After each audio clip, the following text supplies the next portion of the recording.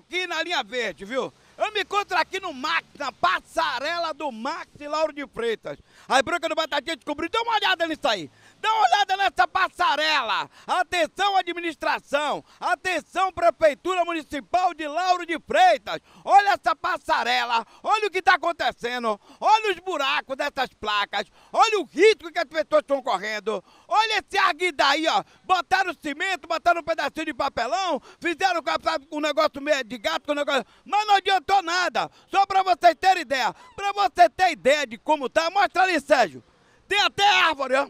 Tá até planta, mato nascendo na passarela. O mato tá nascendo na passarela, mato, pra você ver o cuidado que estão tendo na manutenção. O cuidado que estão tendo. Do lado de lá, ali em cima, se você olhar ali, em plena avenida de rolamento de carros, tá rachando ali naquela parte dali, olha lá, olha lá. Daqui você vê, olha lá no meio. E as pessoas passam tranquilamente, sem saber o risco que está correndo nessas passarelas.